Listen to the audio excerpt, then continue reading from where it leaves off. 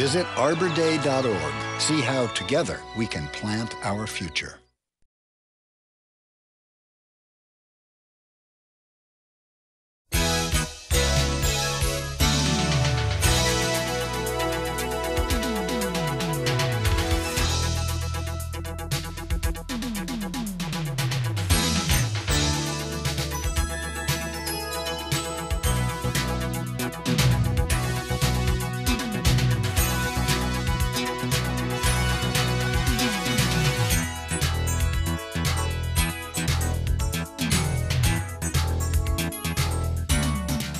News View, a look at some of the news of note with Michael Badger from Champaign-Urbana, Illinois.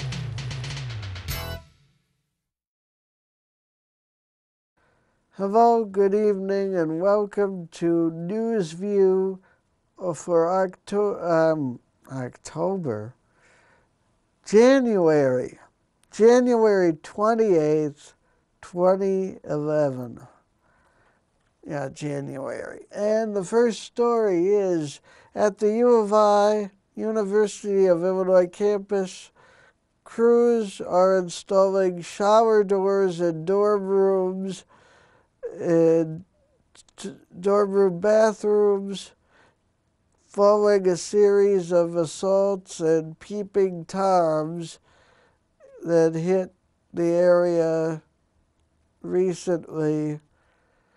Um, and that is according to WCIA News. If you want to see more, go to IllinoisHomepage.net or WCIA.com. And in other news, New York City uh, has yet another snowstorm barreling down on them. According to CBS New York, the sanitation department's working hard to deal with the snow that dumped 19 inches on Central Park, and they've deployed 365 salt spreaders, 1,700 snow plows, and crews working 12 hour shifts to clear the streets. And in other news, according to the Vancouver Sun, a border collie was found frozen in a block of ice left in somebody's front yard. Uh, this is under investigation by British Columbia's SPCA investigators, and it's possible that another animal ate some of the dog's innards. The, um, they're investigating this disturbing case, and the man discovered the dog January 15th, but he told officers he had no idea why it is why its frozen body was left on his property. He said he thought he'd seen everything, but um, well, it's another sad story. A dog found encased in ice or left in a man's yard for some reason we don't know. And another snowstorm is bearing down on the northeast, like I said, and uh, the storm came in two rounds. Heavy snow fell in Washington, D.C., and Baltimore, Philadelphia, and New York City, and southern New England. Uh, heavy snow rates with thunder and lightning then moved northward through portions of eastern Pennsylvania and New Jersey. This, according to Chris Dolce, a meteorologist for the Weather Channel. And the snow totals are Hartford, Connecticut, 12 inches, South Boston, 11.5 inches, New York, 19 inches, uh, Baltimore 7.8 inches, and Washington 5 inches. So that's what's going on there. And I think we'll go to a break and come back with more News View after this.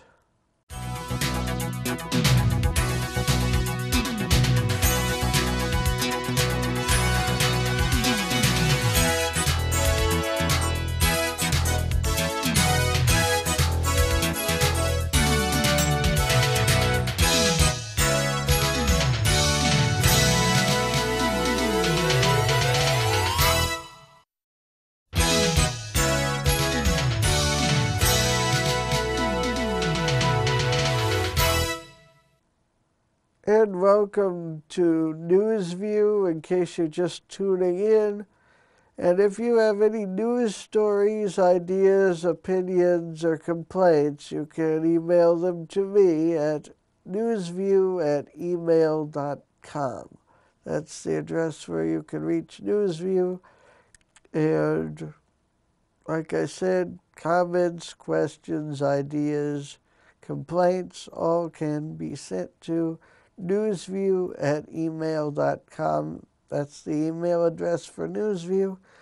And getting back into the news, um, the uh, according to the UK Daily Mail Online, in Japan, uh, the uh, volcano has erupted, scattering ash and rocks across a lot of southern Japan.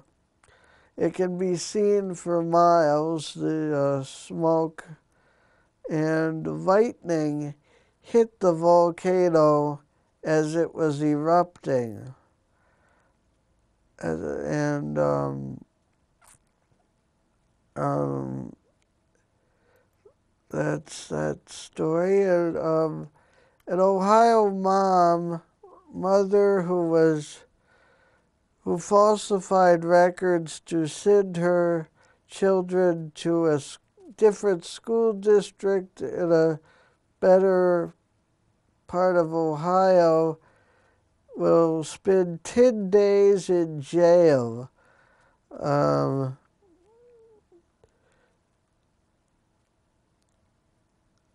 so, um, so she, she was trying to get her kids out of what's a bad neighborhood, a better education. Uh, but she falsified her records, like I said, and will be in jail for 10 days. And in other news, the White House is in the belief that Egypt's government is stable. Um, White House spokesman Robert Gibbs said that the U.S. believes the government is stable despite the protests against it. He also told reporters that the protesters had an obligation not to engage in violence. And he said that President Barack Obama has frequently encouraged the Egyptian president Mubarak to engage in political reforms um, as the turmoil in Egypt continues.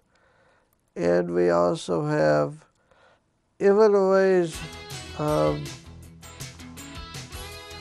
uh, vignette from the uh, the uh, football team, the Illini football team is going to bypass his senior season and enter the 2011 NFL draft. And he had 63 tackles and four and a half sacks. Liuget was named to fourth team All American honors and second team All Big Ten team and um, he was he says quote playing at the university of illinois was a wonderful experience and that he will always remember it, but he feels he is ready to take the next step to enter the National Football League draft. And Illinois is one of four schools that have had three underclassmen enter this year's draft. The other three schools are Alabama, Auburn, and Pittsburgh. Wingert will join Illini teammates running back Michael Masur and linebacker Martez Williams Wilson, Martez Wilson, who each for forego, forego, forwent their college careers to join the year's draft. Um, that from um, digtrade.com and also from 9 News Now, WUSA TV 9, WUSA9.com, reporting that. And um, like I said before, if you have any comments or questions or complaints, just email me at newsview at email.com. And we, we expect to see some snow, a little snow Saturday, so stay tuned for the weather forecast as well as um, maybe a Crime Stoppers bulletin right here on Newsview, your Champaign Urbana, Illinois, USA newscast. Thanks for watching, and I can also be found at YouTube at IOPH3. That's the channel name. Uh, thanks for watching. Have a very pleasant evening, and stay tuned for more Newsview.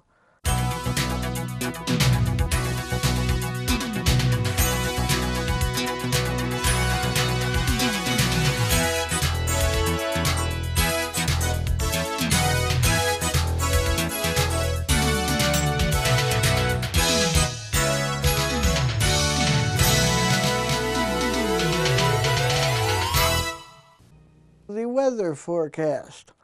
So for Friday night, you should have um, light snow, Champaign Urbana, and a low around 25 degrees Fahrenheit. And for your Saturday, some snow, high temperature 35 degrees Fahrenheit, and some snow, and then Saturday night, low should reach 21 degrees Fahrenheit with mostly cloudy skies. Sunday, high temperature of 28 degrees Fahrenheit with mostly cloudy skies. And for your Sunday night, a low temperature should reach 21 degrees Fahrenheit with mostly cloudy skies again. This is Michael Badger and this has been your Newsview weather forecast for the weekend.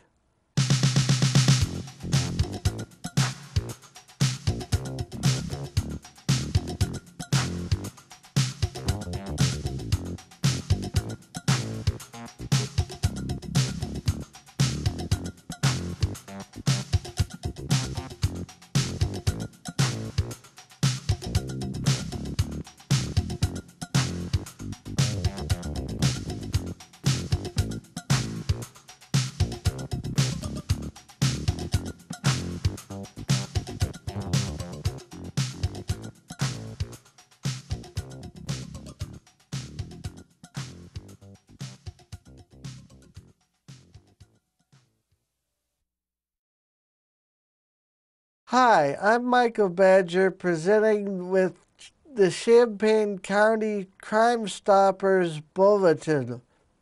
The Champaign police are seeking information regarding an attempted armed robbery that occurred on Saturday, November 13th at the Circle K gas station located at 601 North Neil Street, Champaign. An employee reported that a subject entered the store twice and removed products from the freezer, stating he would come back later to purchase them. The third time he entered the business, he was holding a knife in his hand and approached the window at the cash register area, yelling at the employee. The employee was able to secure and lock the window. The suspect then dropped the knife and fled the area northbound on foot.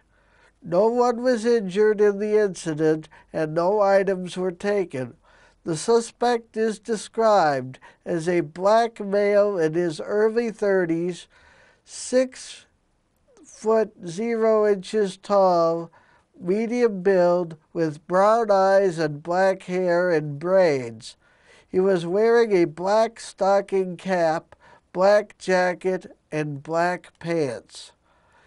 If you have any information regarding the suspect's identity and or location, call Crime Stoppers at 217-373-TIPS or 217-373-8477. Information can also be sent by anonymous web tip by going to www.373tips.com www.373tips.com or by sending an anonymous cell phone text to the following. Tip 397 plus the information to CRIMES or 274637. The information you provide is confidential. You do not have to give your name or appear in court. Crime Stoppers will pay a reward if the information you provide leads to an arrest for this crime. Cash rewards are also paid for information on other felony crimes or fugitives in the Champaign County area. I'm Michael Badger. This has been your Crime Stoppers of Champaign County report.